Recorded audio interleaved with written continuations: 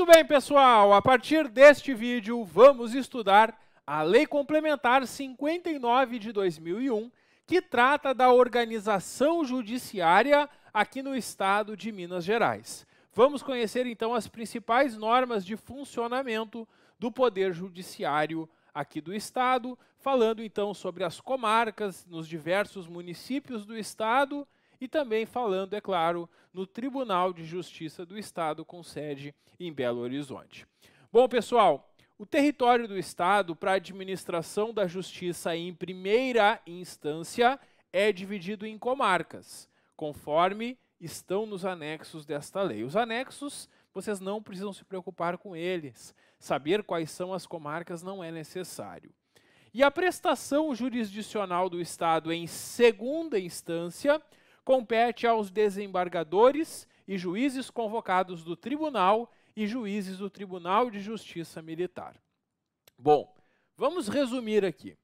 A gente tem a, o Poder Judiciário de primeira instância e de segunda instância. Normalmente, nós chamamos isso de primeiro grau ou segundo grau. Bom, quando eu ingresso com um processo, com uma ação judicial buscando algum direito, eu vou ingressar perante um juiz, um juiz de primeiro grau, de primeira instância, que atua em alguma comarca, que pode ser no próprio, na própria capital Belo Horizonte ou em qualquer outro município do estado que tenha uh, comarca, que tenha fórum. Bom, quando eu entrei com a, com a ação, o juiz, em primeiro grau, em primeira instância, vai proferir uma decisão que a gente chama de sentença. Se eu não concordo com a sentença do juiz de primeiro grau, eu posso, em segundo grau, em segunda instância, apresentar um recurso. O meu recurso, normalmente, de decisões tomadas por um juiz, normalmente será julgado pelo Tribunal de Justiça. E lá no Tribunal de Justiça estão os desembargadores. E também alguns juízes de primeiro grau que são convocados para substituir desembargadores. E quando a ação envolve policiais militares ou bombeiros militares do estado de Minas Gerais, a ação vai tramitar perante a Justiça Militar. E aí também, em segunda instância, tem o Tribunal de Justiça Militar. Então é isso, pessoal. Esse esquema resume aqui a primeira e a segunda instância do Poder Judiciário. Quando eu falar em primeira instância, então, estou falando das comarcas onde estão os juízes de primeiro grau. Quando eu falar em segunda instância, estamos falando dos tribunais. O Tribunal de Justiça, onde atuam os desembargadores, e o Tribunal de Justiça Militar. E a fiscalização contábil, financeira, orçamentária, operacional e patrimonial dos tribunais é exercida pela Assembleia Legislativa. Os deputados estaduais aqui de Minas Gerais vão fiscalizar essa questão da gestão administrativa e financeira dos tribunais. Porque os tribunais também prestam contas. O Poder Legislativo, além de fiscalizar o governo do Estado, que é o Poder Executivo, fiscaliza também essa atuação administrativa e financeira dos tribunais. É isso. Então é isso que nós temos aqui neste primeiro artigo da lei. O artigo 2 prevê que o órgão competente do Tribunal de Justiça, nas condições e limites que estabelecer, pode estender a jurisdição de um juiz de primeiro grau para comarcas contíguas ou não. Uma comarca contígua é uma comarca vizinha, é, visando os seguintes objetivos: Solução para acúmulo de serviço que não seja caso de criar uma nova vara ou uma nova comarca, ou produção mínima que justifique o cargo. Não entendi, professor. Como assim? O que está dizendo aqui é o seguinte: se o Tribunal de Justiça perceber que tem um juiz que pode fazer um pouquinho mais, ele pode designar esse juiz para fazer um pouquinho mais, evitando que se crie uma nova vara ou uma nova comarca ou para que esse juiz tenha uma produção mínima que justifique o salário que ele recebe. É isso mesmo. Então, na, no funcionamento, é, normalmente, cada juiz vai estar lotado em uma vara, em, nas, nas diferentes comarcas. E quando for o caso, se for o caso, é possível que o juiz seja designado para atuar em mais de um local, justamente para evitar a criação de novos cargos de juiz e novas varas, ou para pelo menos ele ter uma produção mínima que justifique a remuneração que ele recebe todo mês. É isso. O artigo 3 prevê que cada comarca vai ser constituída de um ou mais municípios. Aí, pessoal, é de acordo com a realidade de cada da localidade do estado. Pode ser que tenha municípios que a comarca vai abranger somente aquele município. Pode ser que tenha municípios que a comarca abrange aquele município sede e alguns municípios da região, o que é muito comum que aconteça. Porque, é claro, né, num estado do tamanho de Minas Gerais, com tantos municípios, não tem como ter uma comarca para cada município. Então, naturalmente, a maior parte das comarcas vai abranger um território de mais de um município. Bom, sempre o nome da comarca e a sede vai ser o município que lhe dá o nome, né? As comarcas podem internamente ter uma subdivisão de distritos e subdistritos judiciários. Então, dentro de cada comarca pode ter diferentes distritos e subdistritos. A relação das comarcas e dos municípios que integram está no anexo desta lei, e até a instalação das comarcas criadas, prevalece a divisão e a competência jurisdicional em vigor. Aqui, isso foi colocado em 2022 é, para que até que a instalação das novas comarcas que foram criadas no ano de 2022, até elas serem instaladas e começarem a funcionar, continua a divisão anterior. No momento que as novas comarcas são instaladas, passa a valer a nova divisão. Isso é para os processos que já estão tramitando enquanto não são instaladas nova comarca, porque a instalação é o momento que as comarcas passam a funcionar. Bom, o artigo 4 prevê que o distrito e os subdistritos judiciários constituem-se de um ou mais distritos ou subdistritos assim criados em lei. E o juiz pode transferir a realização de atos da sede da comarca para esses distritos. Então, se tem um distrito judiciário de um município que não tem comarca, que faz parte de uma outra comarca, Pode ser que o juiz realize atos lá no distrito diretamente ou na sede da comarca, conforme o caso. Bom, requisitos para a criação de comarca. Isso é muito importante, porque para definir a divisão judiciária, alguns critérios têm que ser levados em conta para definir onde vai existir ou não uma comarca. Bom, critérios mínimos para que seja criada uma comarca. A região que vai abranger a comarca tem que ter no mínimo 18 mil habitantes. Não se justifica criar uma comarca para um território onde não tenha 18 mil habitantes. Então, essa seria uma população mínima para a comarca. Também um número de eleitores nessa comarca superior a 13 mil eleitores. Porque na comarca, além da função de justiça comum estadual, também se faz função de justiça eleitoral. E ainda uma movimentação forense anual. O que é movimentação forense? Movimentação de processos. Que tenha nos municípios que compõem essa região da comarca, no mínimo 400 feitos judiciais por ano. 400 processos por ano. Então, se a banca perguntar na nossa prova quais são os requisitos para que seja criada uma comarca aqui no estado de Minas Gerais, vocês têm que lembrar: 18 mil habitantes, mais de 13 mil eleitores e, no mínimo, 400 feitos por ano. Tranquilo? Esses são os requisitos para que seja criada uma nova comarca. E para instalar a comarca, o que é instalar a comarca? Depois que a comarca é criada pela lei, tem um ato de instalação da comarca, que é quando ela efetivamente vai começar a funcionar. Porque não adianta eu ter uma lei criando a comarca se ela não é colocada em prática, se ela não é instalada. E quando que é instalada a comarca? É instalada a comarca no momento que exista na localidade edifícios públicos que pertençam ao Estado com capacidade e condições para que lá seja instala instalada delegacia de polícia, fórum cadeia pública e quartel do destacamento policial. Então, na localidade da comarca, tem que ter prédios com capacidade para instalação desses serviços. E o preenchimento desses requisitos é comprovado por certidões que são expedidas pelas repartições públicas competentes ou pela inspeção local da, do Corregedor Geral de Justiça.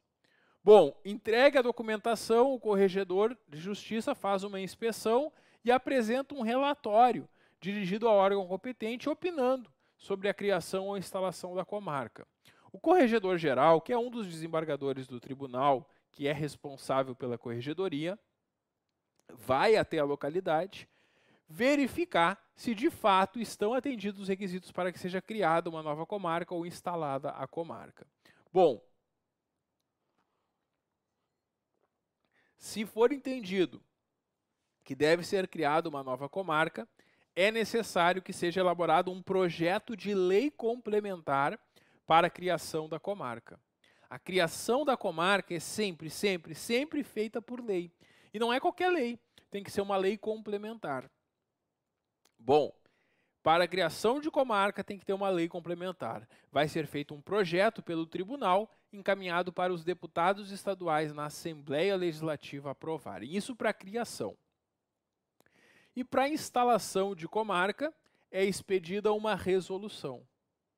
A instalação da comarca não precisa de lei. A instalação da comarca só vai acontecer depois que a comarca for criada. A gente tem essas duas etapas. Primeiro tem que ser criada a comarca e depois instalada. Para que seja criada a comarca, antes de encaminhar o projeto de lei, vão verificar se esses requisitos mínimos são atendidos.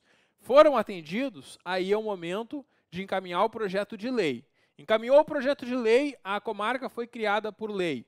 Agora vem a hora de instalar ela, colocar ela em funcionamento. E para a instalação, antes de colocar em funcionamento, vai se verificar se esses requisitos são atendidos. São atendidos? Faz-se uma resolução para a instalação da comarca. Então, criação de comarca é por lei complementar. Instalação de comarca é logo após por resolução.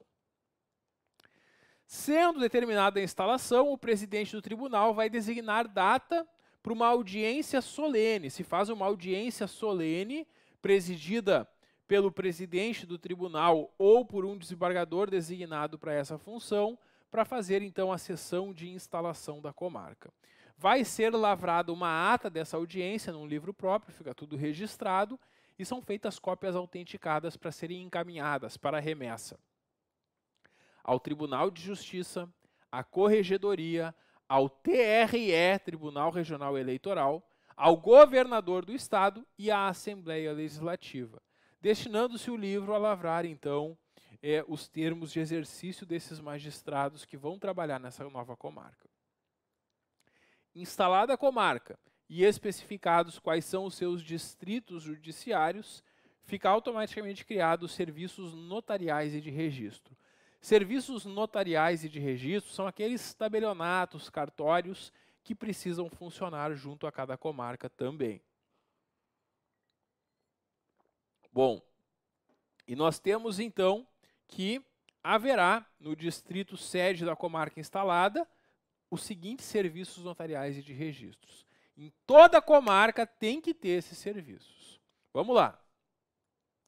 Dois serviços de tabelionato de, no de notas nas comarcas de primeira e segunda entrância e nas de entrância especial, mais um tabelionado de notas por vara acima de 10, até o máximo de 10 tabelionatos de notas na comarca.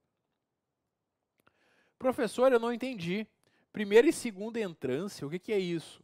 Não confunda primeira e segunda entrância com instância, que são coisas diferentes. Cuidado, hein? Primeira instância é o juiz, segunda instância é o tribunal. Tranquilo. Os juízes na carreira são classificados em entrâncias. Tem a primeira entrância, a segunda entrância e a entrância especial. Isso está relacionado também ao tamanho da comarca, à abrangência da comarca. Bom, nas comarcas de primeira e segunda entrância, que são um pouco menores que as de entrância especial, nas de primeira e segunda entrância, nós teremos dois serviços. Dois serviços. Nas de entrância especial, a gente vai ter os dois serviços mais um tabelionato de notas para cada vara acima de 10. Se tiver até 10 varas, não tem tabelionato de notas. Se tem mais, para cada vara acima de 10, um tabelionato de notas a mais. Então, se tem 11, mais um tabelionato de notas. Então, é isso, pessoal. A gente tem, então, dois tabelionatos, no mínimo, dois serviços de tabelionato, no mínimo, nas comarcas em qualquer entrância. Quando for entrância especial, para cada vara acima de 10, um tabelionato de notas a mais, até o máximo de 10 tabelionatos na comarca. Então, as comarcas maiores do estado podem ter até 10 tabelionatos de notas. As menores, 2. Bom, também vai funcionar um serviço de registro de imóveis, um serviço de registro de pessoas naturais, interdições e tutelas, um serviço de protetos de títulos e um serviço de registro de títulos e documentos e, e registro civil também das pessoas jurídicas. Então, esses são os serviços mínimos que vão funcionar. É isso. Toda comarca vai ter esses serviços. Esses serviços são terceirizados. É feito um concurso e quem passa no concurso, em vez de assumir um cargo, recebe uma delegação. E aí vai organizar esses serviços e vai cobrar por esses serviços. E esses serviços podem ser acumulados no ato da instalação da comarca, observando os critérios desta lei. Havendo acumulação de serviços, no momento do desmembramento da comarca, tem preferência de opção de continuar o delegatário que está há mais tempo na comarca de origem. Isso quando há desmembramento de comarca, né? Porque aí uma comarca hoje que abrange 10 municípios vai se desmembrar. Vai ter uma que vai ficar com quatro e outra com seis municípios, por exemplo. O artigo 7 prevê que o órgão competente do tribunal vai suspender as atividades jurisdicionais da comarca quando uma comarca, por três anos consecutivos, por três anos seguidos, segundo verificação dos assentamentos da Corregedoria Geral de Justiça, deixar de atender aos requisitos mínimos que justificaram sua criação, anexando-se seu território ao da comarca de origem. Após a suspensão, o Tribunal de Justiça vai encaminhar para o Poder Legislativo, para a Assembleia Legislativa do Estado, projeto de lei complementar para extinguir a comarca, porque as comarcas são criadas e extintas por lei complementar. Então é isso. A gente viu que tem requisitos para criar uma comarca. Se a comarca, após criada, deixa de atender os requisitos, porque diminuiu a população, diminuiu o eleitorado ou diminuiu a quantidade de processos. Se a comarca, por três anos seguidos, não atingiu aquele mínimo que justificaria a criação dela, aí ela vai ser extinta. É isso. Não esqueçam que tanto criação e extinção é por lei complementar. Bom, agora nós temos a classificação das comarcas em entrâncias. E eu falei para vocês, não confundam instância com entrância, porque são coisas diferentes.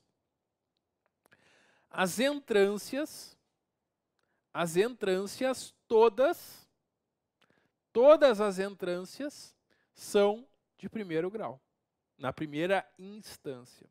Porque a segunda instância é o tribunal. Não esqueçam isso. Então, no primeiro grau, na primeira instância, nós temos três entrâncias. O que define a entrância? Justamente o tamanho dela. A entrância especial a entrância especial são comarcas que têm cinco ou mais varas instaladas. Em cada comarca funcionam varas. Numa vara atua um juiz. Então, em cada vara judicial tem um juiz. Tranquilo?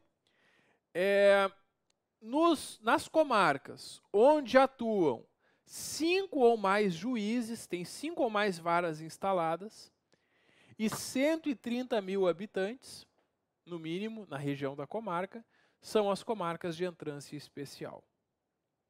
Essas são as maiores. As menores são as de primeira entrância. E o que, que caracteriza uma comarca de primeira entrância? Aqui tem apenas uma vara instalada. Então associa primeira entrância, apenas uma vara. Primeira entrância, apenas uma vara. Maravilha. E segunda entrância? Bom, a segunda entrância não é tão pequena como a primeira, nem tão grande como a entrância especial. Ou seja, a segunda entrância é que não se enquadra nem como entrância especial nem primeira. Está entre as duas. Bom, se para a entrância especial são cinco ou mais varas e para a primeira entrância é apenas uma vara, vai ser segunda entrância todas as comarcas que tenham duas, três ou quatro varas instaladas. Porque se tem duas, três ou quatro varas instaladas, não atende o requisito para ser especial nem para ser primeira entrância ou quando não tiver 130 mil habitantes. Porque vejam só, mesmo que tenha cinco ou mais varas, se não tiver 130 mil habitantes na região, não é entrância especial. E aí, e aí, vai ser segunda entrância também.